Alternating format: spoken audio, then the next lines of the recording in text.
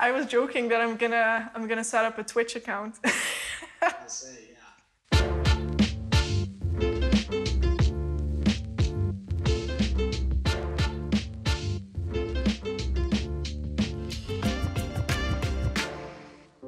We want to be able to guarantee that any human being can receive a critical medical product in 15 minutes or less, either directly to their home or to the nearest primary care facility that they live next to. And our goal is to extend that kind of a service to every human on Earth over the next decade.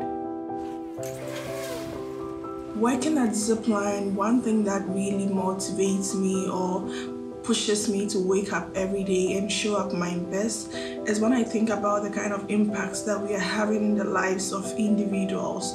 So, providing these essential services that deliver um, critical vaccines, medicines, and blood units via drones on demand to people in rural and remote areas. The diseases that we're, we're treating there are basically postpartum hemorrhaging and malaria anemia, which is really all about saving new, newborns and their mothers. The Rwandan government has done a great job of, of improving those outcomes as we've gotten involved.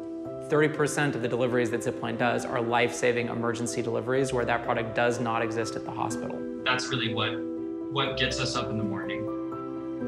A lot of people look at Zipline and they think, wow, that's so cool. You know, they, they focus on the airplane. The reality is we've had to build all of these interconnected systems and they're all generating huge amounts of data. Our responsibility and the way that we're really making sure that Zipline is, is successful is to make sure that Zipline's a data-driven company. The data team at Zipline that we started building in 2016 when we began operating has scaled up um, by an order of magnitude, and we've been able to basically build the eyes and ears for all of the engineering and operations functions at Zipline. I work with two main sources of data, which is fulfillment data and flight data. Fulfillment at Zipline is basically anything that comes before we fly the drones to the health facilities. the drones, the battery chargers, the, the device that launches the drone, and the device that captures the drone. All of those log time series data whenever they are active. Uh, putting data in engineers' hands is really important to be able to give them the confidence that they're shipping reliable hardware, hard, reliable software. What we do is we actually collect data from every single one of our flights, and this data then gets like logged and then uploaded into the cloud. And halfway across the world, um, as an engineer, we can actually download that data, look through it, and pinpoint exactly what kind of failures there are.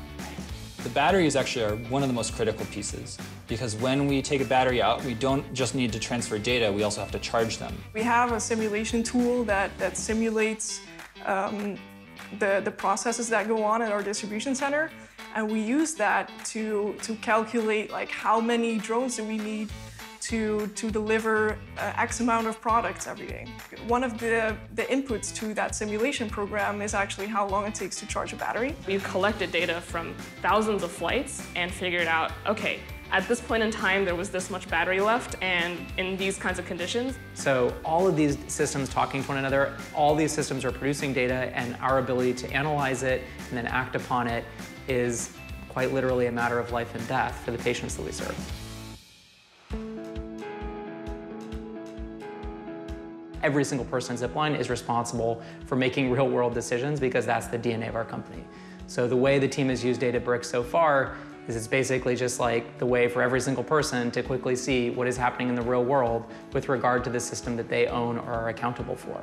Databricks is like an incredibly powerful tool. We have like a notebook that has 20 plots and it'll just like plot every single aspect of the, the flight, like the GPS, the battery health, things like that. Basically like plotting all of the data that, that we have gathered during a flight and, and making sure that that's like really quickly available to an engineer and they only need to change the ID of the flight and, and they have that information. Everyone can have an account in Databricks, and we're able to build not only kind of tools and utilities to access this data, but also uh, reference templates and reference tutorials to be able to learn how to use those tools um, clone those notebooks and immediately you know, query and access the data that they need, build visualizations, all these kinds of things. Which allows me to create automated dashboards for my customers to consume. So just keeping them up to date on what the inventory is at Zipline, how much we have consumed, um, what how, how many health facilities we are serving,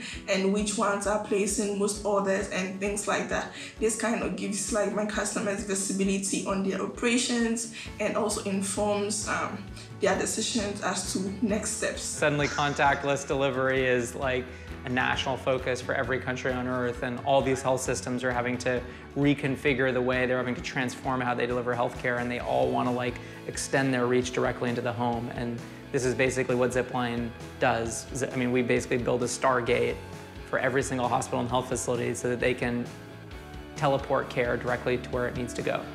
Yeah, I'm super excited for Zipline to expand all over the world, including the US, um, and to bring delivery to people's homes and just increase the access of, of healthcare around the world.